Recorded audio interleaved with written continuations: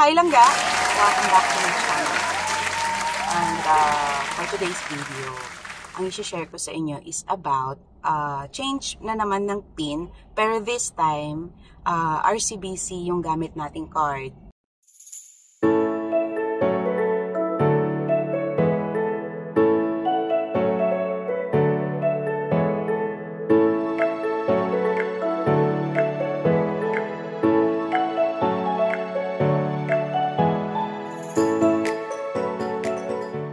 But before tayo mag-proceed sa ATM, few reminders lang.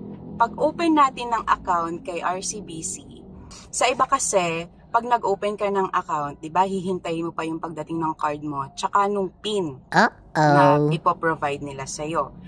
And uh, kay RCBC, pag open mo ng account, mare-receive mo agad, ah, mare-receive mo agad yung PIN through um, SMS. Kaya, importante na yung ibibigay or ipoprovide yung uh, uh, mobile number is uh, active and yun talaga yung ginagamit nyo. Kasi kapag hindi yun yung uh, ginagamit nyo talaga, for example, sa uh, relative nyo, or kasi may iba po na walang mobile number. Uh-oh. Kaya if ever po, um, siguraduhin natin na ang ibibigay nating mobile number is uh, anytime, ma-access natin siya. And then, yon if ever na nakapag-open na kayo ng account, di ba, ma-receive nyo agad yung PIN number kahit wala pa po yung card. And then, yon uh, i-advise po kayo ng per, uh, bank personnel or RCBC personnel kung kailan nyo po ma-receive yung uh, uh, card nyo. And then, by the time na mag, maka-receive kayo ng message na nasa branch na yung card nyo, yun, i-pick up nyo na. And then, uh, pagkakuha nyo po ng card, proceed po tayo sa machine. Um, sa card naman na ibibigay nila, may attachment doon kung paano yung steps. So here, yung video na sana makaguide sa inyo or makatulong sa inyo para sa easiest ng pin change ninyo kasi yung iba po parang hesitant kasi medyo yung iba hindi sure dun sa instruction na Uh-oh. uh, naka-attach dun sa card.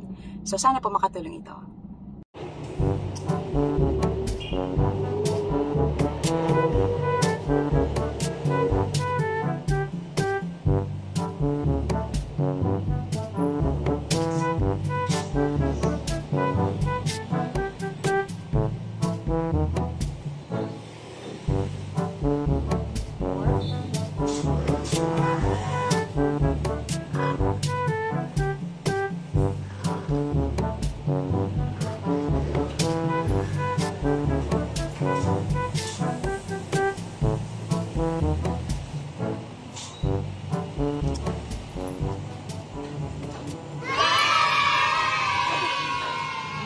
That's it mga langga. So if ever na nakapag-pin change na kayo, activated na po yan.